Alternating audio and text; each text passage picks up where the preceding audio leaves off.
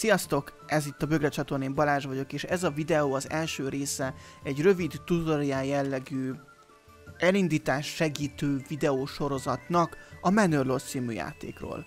A mai részben szó lesz arról, hogy mi is a Manor így általánosságban, és az első játékot is felsetupoljuk, azaz beállítjuk, hogy milyen nehézségen, milyen nehezítő vagy könnyítő tényezőkkel szeretnénk játszani. Vágjunk is bele! A Manor Lords egy középkori hiperrealisztikus falu építő játék, sikerült összeraknom ezt a mondatot, ahol az elsődleges célunk az, hogy mindössze öt falusival indulva, vagyis öt családdal indulva kialakítsunk egy közepes várost, vagy egy nagy városnak nevezhető területet, miközben használjuk a nyersanyagokat, épületeket, eszközöket, a banditákat visszaverjük, fizetünk adót, beszedünk adót, utakat alakítunk ki, infrastruktúrát építünk, termelési láncokat hozunk létre. Nagyon fontos már az elején kiemelni, hogy mi nem a játék, és ezt nem én mondom, hanem az egyetlen fejlesztő, aki készíti ezt a játékot, ő mondta azt, hogy ez nem egy Total War játék. Igen, van benne csata, csetepati inkább, kisebb zászlóajak összecsaphatnak egymással, de ettől még nem lehet várni azt a fajta mélységet, amely Total War játékokban, játékban van. Egyébként ettől függetlenül szerintem nagyon jó a harcrendszer benne. Igen, végül is egy területet és embereket menedzselünk egy térképen, viszont ettől az nem lesz egy Grand Strategy játék, mert viszonylag limitált az, amit el tudunk érni. Összesen van 6-7 terület, régió, és azokon belül tudunk boldogulni, építeni, nem lesz itt szó arról, hogy királyságok királyságok ellen ütköznek. És igen, a játék valóban városépítő, de ne számítsatok akkor a scale-re, vagy akkor a scope-ra, mint a City Skylines 2, vagy akár talán még a Banished ö, is olyannak mondhatom, ami talán ennél nagyobb,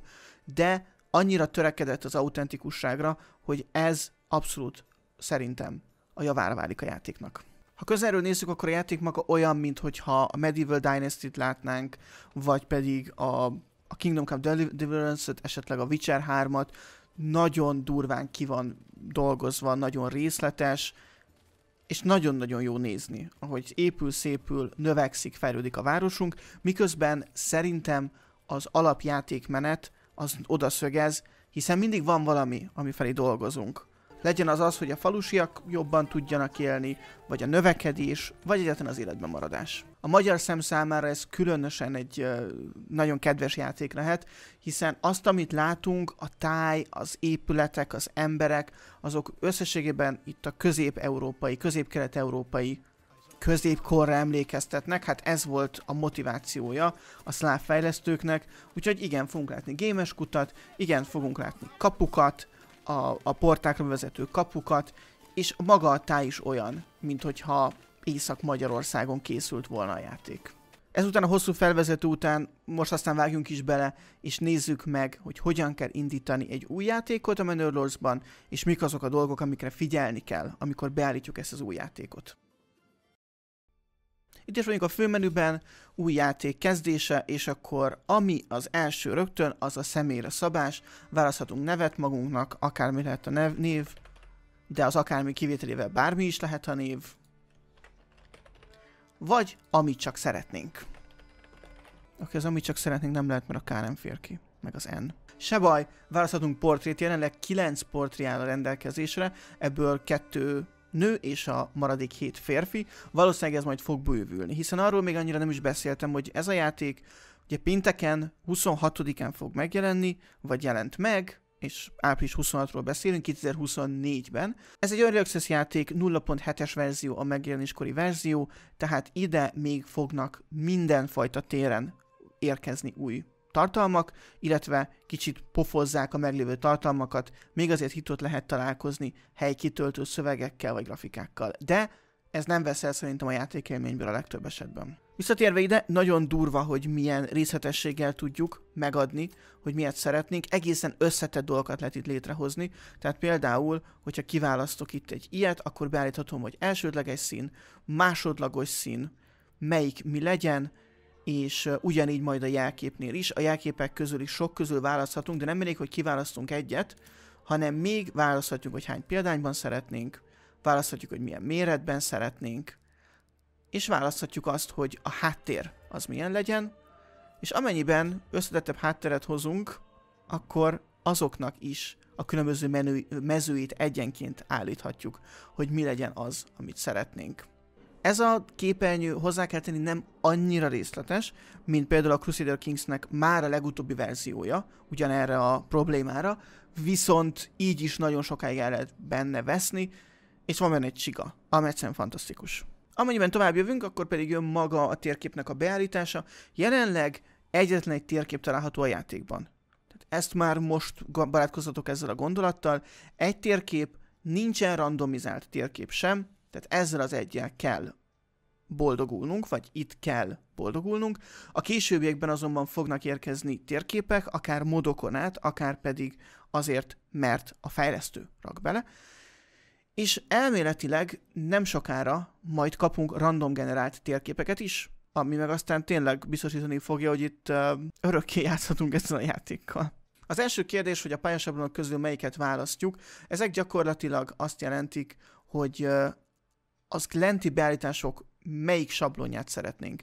Van az emelkedj jólétre, van a béke helyreállítás és a peremen, ez balra jobbra haladva nehezebb és harcosabb. Tehát az emelkedj jólétre az gyakorlatilag csak annyi, hogy érünk egy bizonyos szintet a városunkkal, a, míg a peremen az pedig nem csak, hogy túl kell élni a támadásokat, de lehetőleg el is kell foglalni az ellenfeleket. A béke helyreállítás egy jó közép nehézség, ahonnan el lehet indulni. Egyébként ezeken kívül nincsen más nehézségi beállítás a játékban, nincs, hogy könnyű, köze, könnyű nehéz, very könnyű ilyesmik, hanem itt állítunk be mindent, és inkább azt tudjuk beállítani, hogy az AI mennyire legyen agresszív, milyen gyakran jöjjenek támadások, stb. Ezt a második sorban látjuk, sablon nehézsége, pihentető alapértelmezet vagy kihívást jelent. És akkor menjünk végig szépen, mert arra még van idő, ezeken a sorokon. A végcél az lehet uralom, lehet hódítás, lehet az, hogy nincsen, vagy pedig lehet növekedés, ez azt határozza meg, hogy mikor ér véget a játék. Az uralom az a többi lord megsemmisítése és a területék elfoglalása, a hódítás pedig az összes régió meghódítása. Ezek között van különbség, de hozzá kell tenni, hogy jelenleg az a mesterséges intelligencia nincs jelen az ellenfelek között, tehát nincsenek AI ellenségek, annyi, hogy van egy külső, itt van egy térképen kívüli ellenfél, amennyiben beállítjuk, aki néha egy bejelentkezik, hogy ő neki az a terület kell, vagy egy másik terület kell, és általában nem szokta lenyúlni az összes területet előled, de amikor lenyúlja a területet, utána azt csak úgy tudod megszerezni, hogyha katonákat küldesz oda, és megharcolsz értem. A mesterséges intelligencia agresszivitása kiegyensúlyozott, ez magától értetődő, portják gyakorisága közepes, két évente egy portja. Általában ezeket a portyákat ki tudjuk kapcsolni, feljön egy menü, hogy akarjuk-e, hogy foglalkozunk ezzel a portyával, amennyiben nem akarjuk, akkor pedig azt mondja, hogy jó, akkor visszajövök két év múlva, és meglátjuk.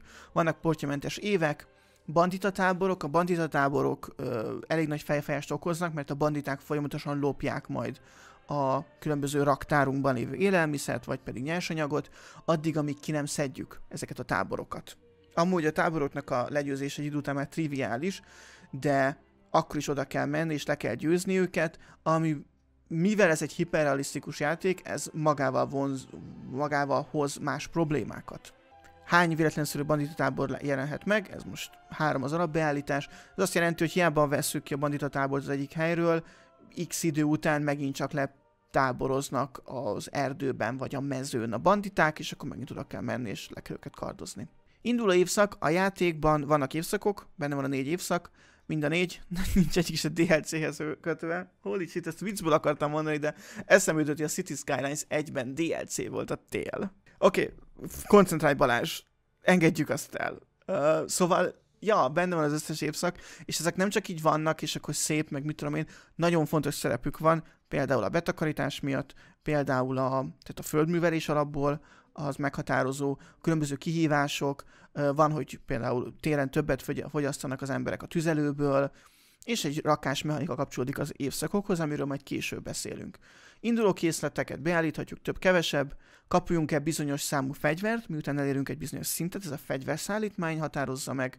Lakossági igények, mennyire legyen kiegyensúlyozott, mennyire legyen az, hogy igényesek, mennyire hogy toleránsak, Tehát ez, ez meg az, hogy nyilvánvalóan mennyire szeretnénk saját magunkat szivatni ilyen dolgokkal. Ugyanaz az elismertség, ezekről a mechanikákról később beszélünk, a kút elhelyezése, ez azt jelenti, hogy az a kút, ahonnan ugye nyerik a vizet, az lehet beállítani, hogy akárhol lerakhassuk, és onnan nyernek vizet, vagy pedig a föld alek alatt húzódjanak vízlelőhelyek, és ezekre a lelőhelyekre rárakva tudunk csak vizet szerezni.